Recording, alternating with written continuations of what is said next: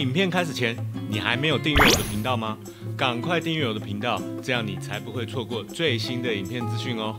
OK，影片开始，Let's go。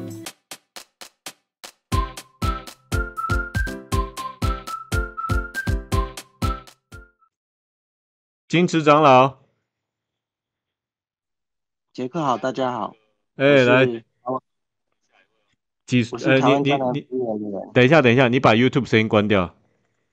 哦，好，我关了。哎，好，来，金池长老你好，来，安安几岁？哪里人？呃，我三十七岁，台湾哪边？嘉义人。哦，嘉义人嘉义呀、嘉义哦，你三十七了哦，那你应该不是五零三零，五零三零大概是二十九、三十左右哦。好，嘉义的这个金池长老，你也在玩黑神话悟空吗？哎，没有，我只是觉得他的造型很有意思，头那么大个。哦，大头哦，很像苏贞昌哦，金池长老哦。好，来这个嘉义的这位朋友，你想说什么？呃，我先说，我刚才听到那个十八岁少女，因为我有在你的板上追踪一阵子，她之前说要去浙江读书，很多人都半信半疑，现在看起来好像是真的耶，也是恭喜她。哎哎哎，然后她刚才而且他 po 了改那个变挺大的哦，嗯对啊，可是我也发现哈，他、嗯他们现在这种十几岁，在民进党的教育影响很大呢。嗯，他们已经就是怎么说，就像他看，我在想，他可能也不知道什么是台独，他只是觉得嗯就好像他小时候认识了一个一个熊熊娃娃之类的，他嗯觉得说那是嗯他的信念这样子。嗯那那我在看他的大学那个入学的那个、嗯的那个师生训练呢，我就嗯吓一跳，我是想说。嗯呃，中国大陆这样子不错，因为他们我看到下面还有那个什么如何辨识身边的间谍，还有什么嗯核安全，我是想嗯。说像这种那么严肃的东西，我们大学我们大学新生入学应该都是一个形式啊，然后就大家就认识认识之类的。嗯。那我觉得那边的教育真的比较就是比较严谨哦。嗯，那我就我也不知道，他也是蛮会利用机会的啊，因为从嗯。台湾到去读书也是一个一般人不会去尝试的。嗯好。然后我说的是，你杰克，你有注意最近那个中国大陆不是八月初那时候在奥运嘛，然后对。有一些选手破纪录嘛，嗯。不管是游泳还是跳水，还然后是。一开始，然后好像是，然后他们现在这几天都在香港跟澳门，就是谁？可能谁？游泳就是他们中没有是整个奥运代表团的那个差不多六十几个人，嗯。然嗯后他们呃八月三十一那时候好像先去香港几天，嗯。后最近这几天去澳门，然后然后因为我的外 T 都会跳出来，可能是因为平常比较常看，嗯。然后我就觉得有一个感想，就是现在因为他们那些运动员年纪有很多都是他们称为零零后，就是二两千年以后出生的，他们叫零零后，嗯。然后就就会我想说是感觉到现在中国大陆，因为我们台湾人有时候在讲这个共产党，都很喜欢嗯。去讲那些文化大革命啊，那边六四啊，啊再怎么讲都是毛泽东啊，我就觉得说，那我们中华民国同样那个时代的人，你会去讲吗？不会啊，讲到嗯大陆一天到晚就在那边文化大革命啊，我们讲中正的事情你讲不讲？也嗯不讲，整天嗯就说他杀人魔。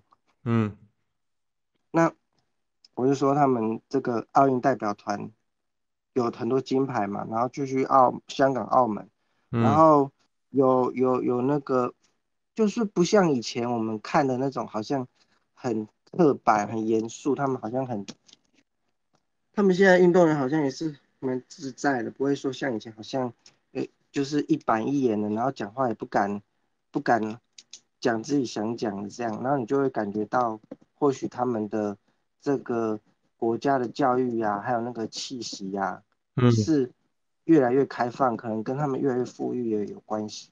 嗯可是我我有我有看那个 YT 上啊，有的人说那是演戏，就是有人嗯。会去那个乡下很乡下的地方，然后嗯有一些八九十岁的老人在路边摆摊，嗯然嗯后他们可能不同时代、不同年龄的人啊，他们就是卖那个菜啊，一百块这样子过日子。然后你如果一次给他们几十块，他们还会吓到，觉得说怎么那么多钱这样。所以嗯我觉得，我是觉得啊，我们我们台湾的人有时候也不要一直急着去想说我是支持统一还是支持什么，嗯更不要说是独立啊。尤尤其我呃我们家其实是偏懒的，所以我绝对是不可能去接受所谓。我觉得你如果说要独立，你应该是要先干过国军才是，不用不是说干掉共产党，是要先干嗯掉国军。我们中华民国有允许台湾分裂嘛？对，嗯所以我觉得台独的话，你就没有资格讲这种话。你除非你先打倒国军，不然你不要跟我说你要台湾独立。嗯，因为台湾就是中国的领土，那我嗯们中华民国是我们的制度。啊，中共的话那又另外讲。嗯啊就就扯远，我只是想说哈，就是看到现在中国大陆的新一代的那个年轻人，已经不像以前那种，就呈现出他们国家，也不是说他们国家，就是说中共的管理的嗯底下的现代的中国的一直在变化，所以嗯我觉得我想到我们台湾人去想要不要统一，要不要独立的时候，也是要去想，统一或独立也不是一个结果，就嗯定在那，说那之后我们又会怎么前进？可是现在台湾的情况很明显就是错误的，就是在跟中共那里搞对立。我就说中共，我们嗯不要说中国，因为我们本来就是中国，嗯那这是错的。我们不要，因为有时候我我们也不知道怎么统一嘛。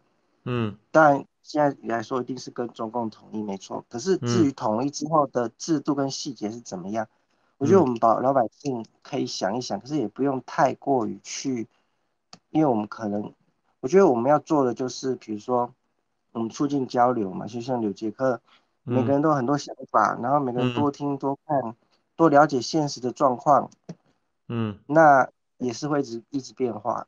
嗯大概就是这样子。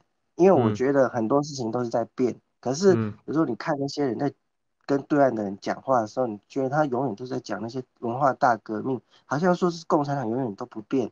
啊，如果永远都不变，会像少女所说的，他去大陆看到这种感觉吗？嗯。他们从改革开放那时候，社会很多黑帮，很多的强盗、土匪，乱七八糟的事情，然后到现在，所以我说他们是变化中，可是我们台湾算是选择去排斥、拒绝，反而嗯。比较像像北韩不敢看南韩的电影影视嗯。是有罪的，嗯。因为他们怕影响他们的民心。可是我们台湾现在是像北韩，我们不要看大陆，不要进大陆的车子，我们不要进来让大台湾人发现说为什么他们车子的配备不差，可是却对不对？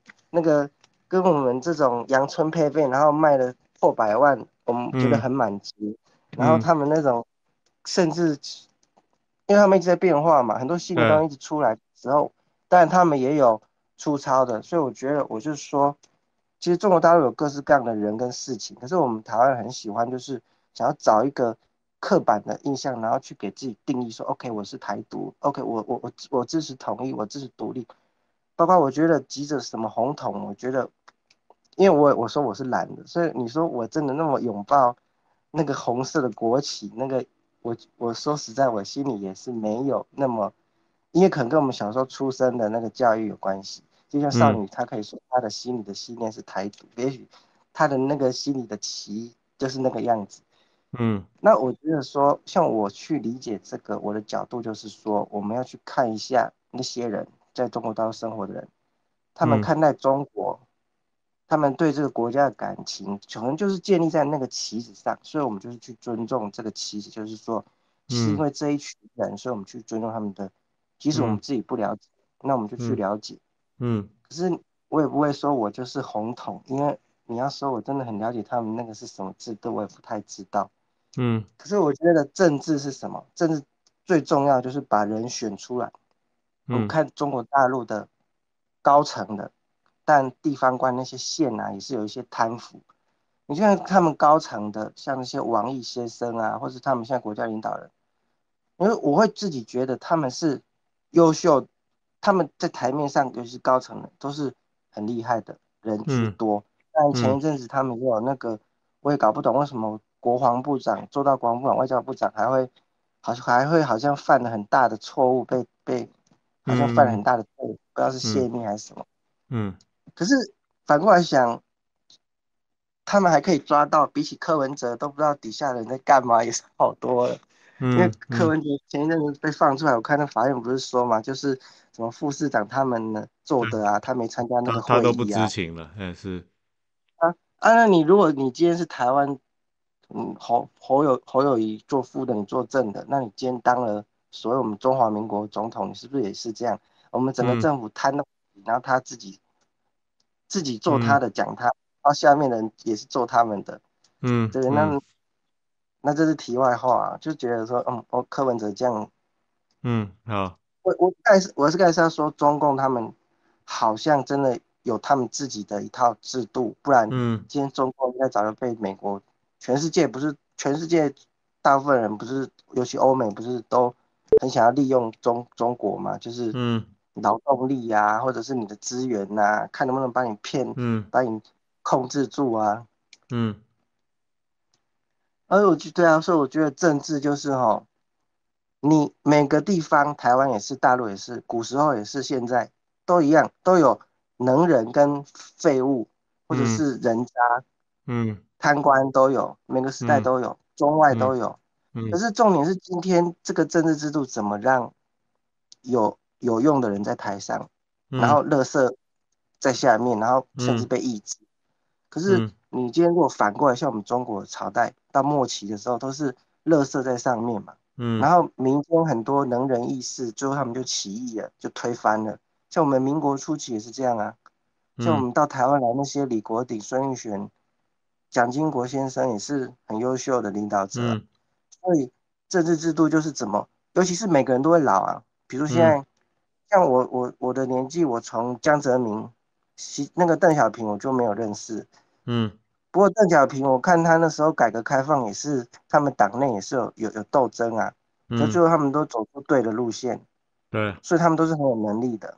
嗯那就是江执政者是哎有能力的人了，不要执政者好像都是垃圾一样啊，什么都不懂对啊。嗯那你看现在欧美，他们制度像日本，你看像法国，他们选出来的人，尤其像那个阿根廷，选嗯出一个疯子，啊，你投嗯票投的很爽，啊，嗯结果嘞，整个嗯。国家垮掉，他说嗯。啊，后悔来不及，就是等三年，等四年。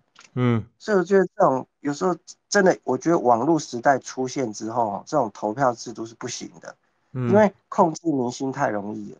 嗯。只要掌握现在民众抱怨什么，你就顺着他，然后就一堆人支持你，那你就上去之后，你就可以有权利做你想做的事情，为所欲为。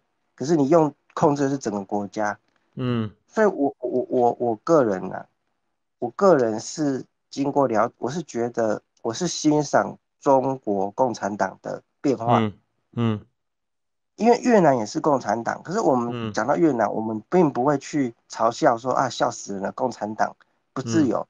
那越南应该也是叫共产党啊，而且越南会比中国自由，比中国富裕嘛。可是我们反而一直在嘲笑中国共产党。对，我觉得我所以我觉得我我们就是比较中性的看这些名字啊、颜色啊，不要整天就好在那边文化大革命讲来讲去就是那些七十几十年前的事，然后你也不去看一下以后要走去哪，还有中嗯。共现在在变化，在他们很多你看同时啊，同时嗯。很多他们很多事情都同时进行的，不管嗯是内政啊、铁路啊、外嗯交啊、太空太空啊。嗯还有那些新能源的汽车，他们刚刚也在推说，人家也在笑啊，说那时候中国车像垃圾一样啊，没几年，嗯因为他们很多设计师也都是欧美的啊。嗯那至于怎么怎么怎么成就起来的，那个中间一定都是故事嘛，都讲不完。问题是结果就是这样，嗯就是变得越来越好，而且他们那个速度太快了，嗯有时候你会觉得很不可思议，尤其是他们最近那些无人机，我之嗯前还是看到他们那个特种部队，他们还有那个仿生鸟、欸，机械鸟又是用翅膀在飞的，我都不知道那个是真的还假的，也许过几年才会知道吧。还有那个水里的鱼，也是机器的。你有时候觉得说，是不是外星人从那个五十一区跑到中国大陆的，去帮中国人？不然为什么？黑科技很多了，嗯而且你说美国现在有些人在怀疑说他那登月是假的，你想想也是离谱。以前那个年代，没有电脑都可以登月那么多次啊！现在一个 NASA 发射一个叫波音发射一个东西上去，结果下不来，说要要找马斯克去救，嗯，你就觉得有个有个离谱的，你就觉得现在这个哈，所以有时候我就我只是讲，就是说不要一讲到政治制度，永远在那里绕那些文化大革命，你去把这些名称啊这些都看，你要去看现实看实际，然后你不要。困在那种意识形态里。嗯嗯，好，OK，大概就是这个样。好好，那非常谢谢啊，非常谢谢诸位金池长老你的分享啊，啊，欢迎你以后多多上麦啊。好，谢谢你，谢谢，OK，好，拜拜拜。好，来下一位啊，Surprise。现在是工商时间，我要跟各位朋友推荐我的 YouTube 频道，现在已经开了一个新的会员等级，叫做白金会员。那白金会员有什么福利呢？加入白金会员可以不定期的看到我推出的私房影片，以及可以加入我的 Discord 群组，成为高级成员哦。那至于私房影片是什么，高级成员有什么福利？哎，你加入就知道了。还不加入？还不加入？还不加入？赶快加入